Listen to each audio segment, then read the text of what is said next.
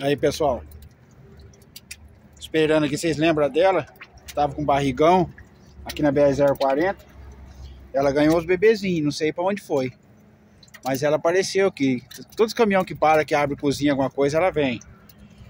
Ela já ganhou o pãozinho, que a ração minha acabou. Essa viagem foi muita ração, pessoal. Foram muitos cachorrinhos. No posto, posto Mock, posto Sorriso.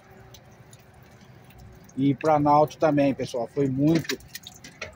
Agora eu parei aqui na BR-040. Fazer uma meia hora de intervalo. Obrigatório por lei. E já estou aproveitando e vou fazer um pãozinho com ovo frito só para não perder muito tempo e adiantar um pouco a viagem. Mas aqui, dois pãozinhos com ovo dela, ó. Esses dois pãozinhos com ovo eu fiz para ela. Agora aqui vou fazendo o meu para mim. Aí dois pãozinhos com ovo, dois pãozinhos com ovo aqui é dela, lá. Aquele lá é meu. Os dois dela tá esfriando. Para não passar batido. Se tivesse raçãozinho ou fosse fazer almoço, dava comida para ela. Sempre trato dela que eu passo aqui.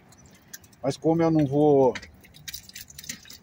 como eu não vou mexer com panela, pessoal, mas tô fazendo dois ovinhos fritos para ela. Mas é isso aí, galera. Um abraço aí.